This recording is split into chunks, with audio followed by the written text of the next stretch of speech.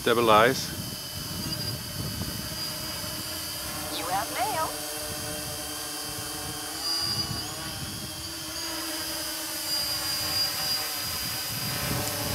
Altitude hold. Ah, ah,